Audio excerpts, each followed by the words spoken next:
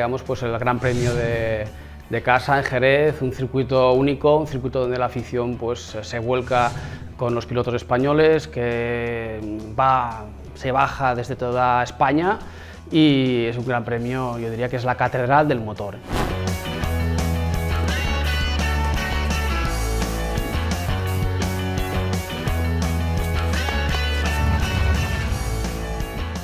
Es un circuito que, gusta muchísimo a todos los pilotos en general y a los nuestros porque corren en casa. Tenemos a Omar Márquez, yo creo que en plena forma, ha demostrado lo, que ha hecho pues ganando la última carrera. Tenemos a, su compañero de equipo, a Dani Pedrosa, que quiere pues un poco pues la remontar, intentar pues ir a por las victorias y a un Lorenzo pues que está empatado de puntos con Mar Márquez. Ahí pues eh, yo creo que es una buena cita para intentar eh, sacar ventaja, ¿no? Y un Rossi que ha ganado ocho veces, donde la afición también le quiere muchísimo y pues va a intentar ir por los podios, ¿no?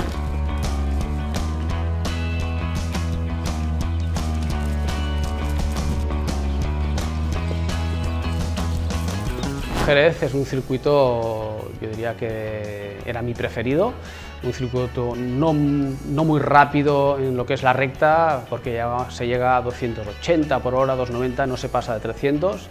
Es muy completo, tiene ángulos, tiene frenadas fuertes, eh, sobre todo en la recta de atrás eh, se llega muy rápido en lo que es la frenada, porque pasas de 280 pero frenando muy fuerte, muy fuerte en una curva de derechas que es un ángulo y entrando con freno. ¿no?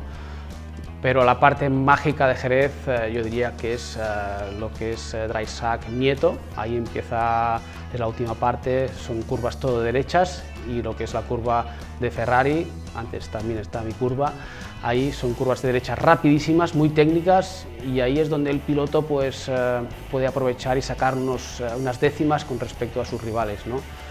Hay una frenada importante entrada, entrando en meta, donde es muy importante cerrar los huecos, ya que si no te pueden pasar por dentro, y ya vemos la entrada de meta. ¿no? En líneas generales es un circuito técnico que requiere pues, una puesta a punto muy importante y si lo haces bien en Jerez, eh, yo podría decir que vas bien en todos los circuitos casi.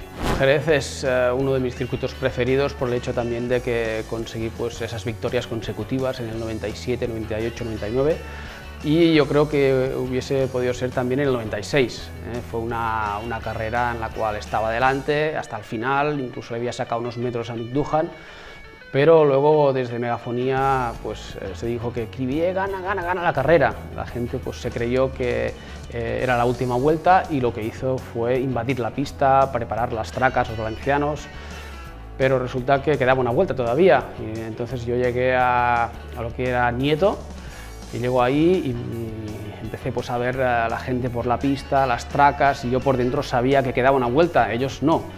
Eh, ¿Qué hice? Pues esquivar la gente, no parar, tirar, y ahí pues Mick Duhan fue más hábil. Él iba detrás, vio que yo quería pues, ir a por la carrera, me recortó esos metros y en la última curva de meta lo que hizo es entrar por dentro y yo pues desesperadamente abrí el gas con más agresividad y me caí.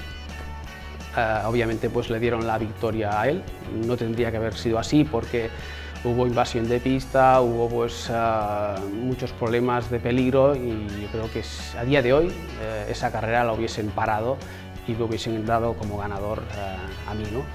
Pero bueno, los tiempos han cambiado y ese momento pues no había no había esas cámaras que hay continuamente en, cada curva, no había la seguridad que, que hay también en los circuitos y así fue.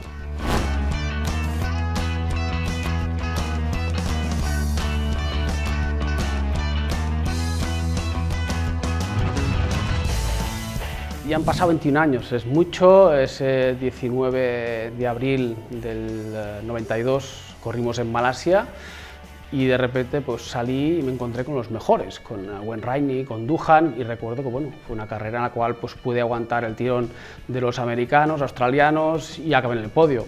Toda una proeza en la cual pues uh, me abrieron las puertas en el 500 y ya pues a partir de ahí empezaron a a apuntar mi nombre entre, entre los que podían aspirar al podio. ¿no? Alucinante, ¿no? es una, una foto que tengo marcada en mi mente y en, el museo eh, con, como una proeza, luchar ese primer año y conseguir un podio.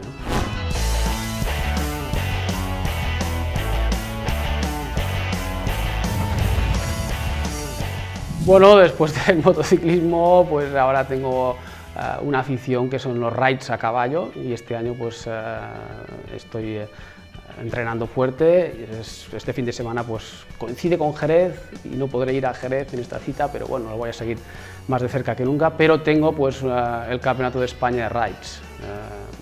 consiste pues en hacer 160 kilómetros campo a través por montaña y es una prueba importante de cara pues, a esta afición del ride, es campeonato de España absoluto.